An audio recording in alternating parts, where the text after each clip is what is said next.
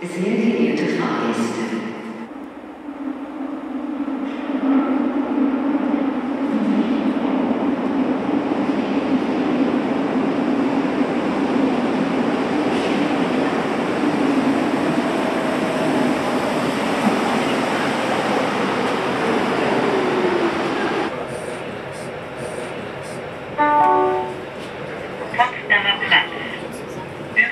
zum Regionalverkehr, zur S-Bahn und zum Metro.